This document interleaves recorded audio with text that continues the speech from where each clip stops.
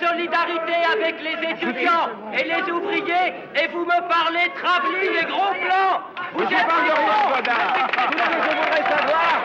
Il n'y a pas un seul film qui montre des problèmes ouvriers ou étudiants tels qu'ils se passent aujourd'hui. Il n'y en a pas un seul, qu'il soit fait par Forman, par moi, par Polanski, par François, il n'y en a pas. Nous sommes en retard.